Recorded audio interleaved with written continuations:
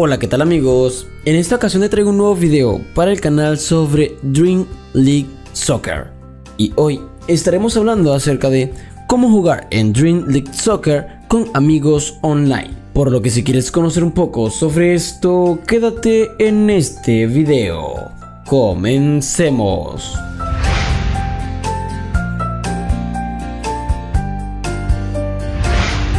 El fútbol siempre se vive mejor cuando lo disfrutas acompañado de personas con la misma pasión por el deporte. Este sentimiento también se traslada al mundo gamer y es por ello que te contaremos cómo jugar con amigos en Dream League Soccer paso a paso. Entonces, una vez acá, queremos saber cómo jugar con amigos online en Dream League Soccer, ya que este pues es un juego de fútbol y queremos también irnos a lo que sería el mundo gamer en nuestro dispositivo o donde lo queramos jugar. Y pues lo primero que vamos a hacer es dirigirnos a la Play Store para descargar la aplicación y así pues darles el paso a paso acerca de cómo jugar en Dream League Soccer con amigos, ¿ok? Vamos a instalarla y esperamos a que se instale. Entonces, una vez acá, como puedes ver, ya hemos descargado el juego. Ahora vamos a jugar. Vamos a entrar en el juego. Y como puedes ver, pues el juego se nos pone de esta manera. Ahora, para jugar Dream League Soccer, pues sería de lo siguiente. Aquí nos dice lo primero, confirmar nuestra edad. Vamos a ponerle acá y le vamos a dar en aceptar.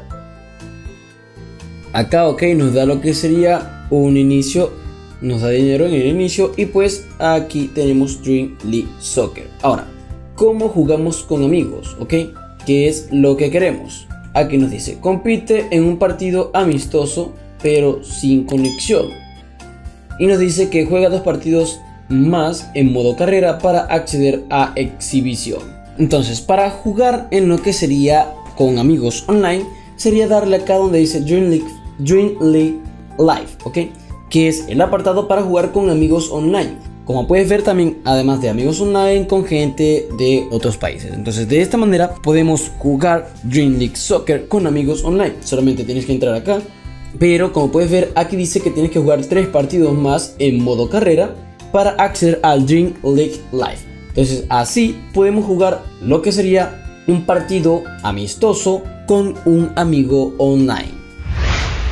Si el video te sirvió de ayuda, déjalo saber en la caja de comentarios. No olvides suscribirte, activar la campanita y dejar un hermoso like. También te invito a pasar por nuestra página web, donde encontrarás mucho contenido interesante relacionado con el mundo de la tecnología, sobre aplicaciones, redes sociales, videojuegos y mucho más.